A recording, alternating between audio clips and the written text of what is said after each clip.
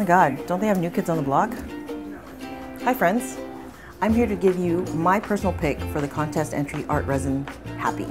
I've chosen at Lisa Hilton 88. Okay, so I've been looking for two plus years, three years for a playing 8-Track player. And I bought one today.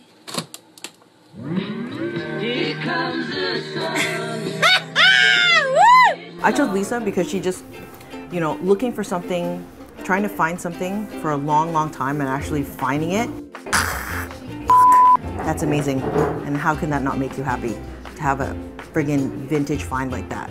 So that's why I chose it. Congrats, Lisa, on your win. And I hope you enjoy your two gallon kit. Bye. That was terrible. I know, can you cut something from that?